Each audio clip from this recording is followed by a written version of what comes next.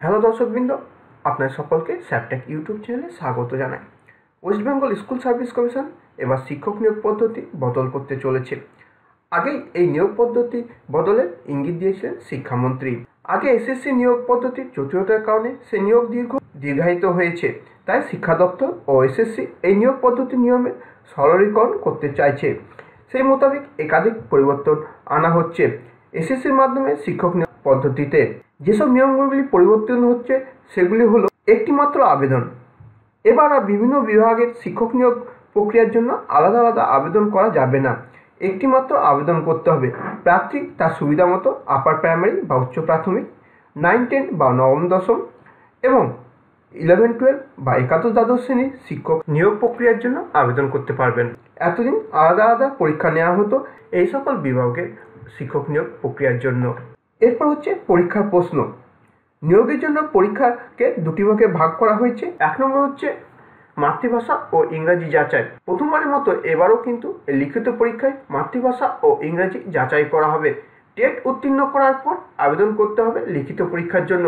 পরীক্ষার্থীদের পঞ্চাশ নম্বর করে মাতৃভাষা ও ইংরেজি পরীক্ষা দিতে হবে। দু নম্বর হচ্ছে একশো নম্বরের বিষয়ভিত্তিক পরীক্ষা।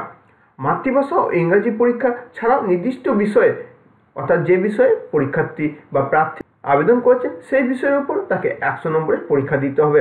বিষয়ভিত্তিক মোট একশো নম্বরের পরীক্ষা নেওয়া হবে। বিষয়ভিত্তিক যেসব পরীক্ষাগুলি হবে, সেই পরীক্ষাগুলি সবই এমসিকিউ টাইপের হবে এবং ওএমআর সিটের মাধ্যমে এর প্রশ্নের উত্তর দিতে হবে। এছাড়াও আর যেসব পরিবর্তনগুলো করা হচ্ছে, সেগুলো হচ্ছে এবার থেকে আর কোনো প্রকারের ইন্টারভিউ থাকছে না। শুধুমাত্র লিখিত পরীক্ষায় যা রেজাল্ট হবে, তার ভিত্তিতেই মেধা তালিকা প্রকাশিত হবে এবং তার ভিত্তিতেই নিয়োগ হবে। এছাড়াও থাকছে না কোনো প্রকারের কাউন্সিলিং আগে যেমন একটি কাউন্সিলিংয়ে ডাকা হতো এবং সেই কাউন্সিলিংয়ে প্রার্থীরা তাদের পছন্দ মতো স্কুলকে সিলেক্ট করতো। কিন্তু এবার থেকে আর কোনো প্রকারে কাউন্সিলিং থাকছে না। কিন্তু এতে উৎকণ্ঠিত হওয়ার কিছু নেই, কারণ এবার থেকে বলা হয়েছে যে যে প্রার্থী যে জেলার সেই জেলাতেই তাতে পোস্টিং দেওয়া হবে। যেমন পাবলিক সার্ভিস কমিশনে যেমনভাবে পোস্টিং দেওয়া হয়, সেই একইভাবে পোস্টিং দেওয়ার চেষ্টা করবে স্কুল শিক্ষা দপ্তর।